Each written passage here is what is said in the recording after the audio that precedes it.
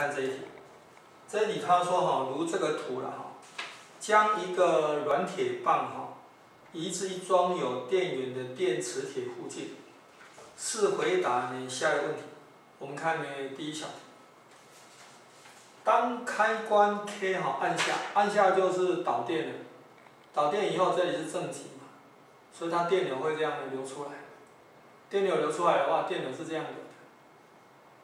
哦，电流这样流的话，所以电流这样流，所以这里是 N 极，啊这里是 S 极，那在 S 极的话哈，它会磁化这个软铁，使得这一端的话哈是 N 极。这一端是 S 级。好，那我们来看看它问什么。好，当开关 K 按下的时候，好按下去。请问电磁铁 P 端，P 端是这一端的啊，即软铁棒 R 端哈，磁极为何呀？这是 S，这是 N，所以 S 跟 N 呢？所以这一题哈。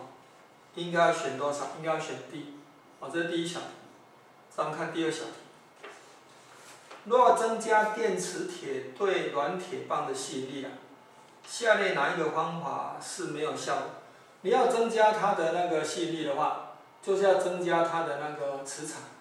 那你可以增加它的电流，你也可以增加它的那圈数哦，因为我们晓得这个 V 哈，它是跟那个单位长度的差数。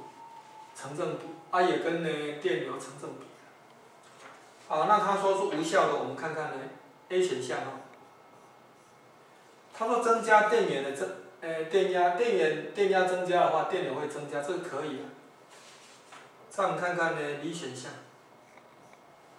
增加电磁铁的线圈圈数，这个也可以。好，再我们看呢 C 选项。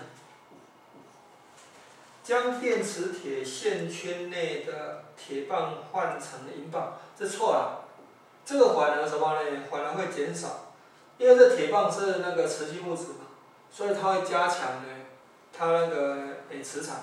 那你银棒的话哈，它不是呢，这个呢哦磁性物质，所以呢它它反而磁场会变小，哦因为它没有办法呢增加呢它的磁场，所以 C 这个是错的。再看呢，D 选项，将电磁铁移进软铁棒，这个会的。哦，移进软铁棒的话，因为它越靠近磁极的话，它磁场越强。那你说越靠近的话，它吸引力就越大，所以这是对的。所以错的是 C 啊，所以这一题应该要选 C。啊，第二小题应该要选 C。